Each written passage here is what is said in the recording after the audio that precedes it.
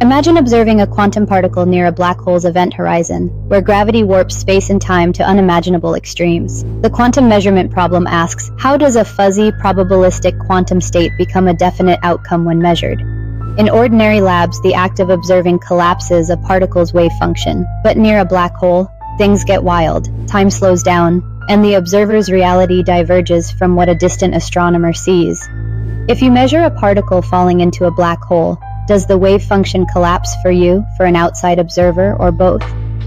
The information paradox deepens this mystery. If information is lost in a black hole, does it break the rules of quantum mechanics?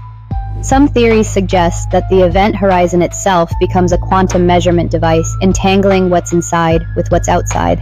Others argue that information escapes in subtle ways, perhaps encoded in Hawking radiation.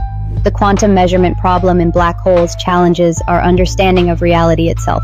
Curious about more cosmic secrets? Let's keep exploring. Subscribe and like. It helps my video a lot, or else you may never see this channel again.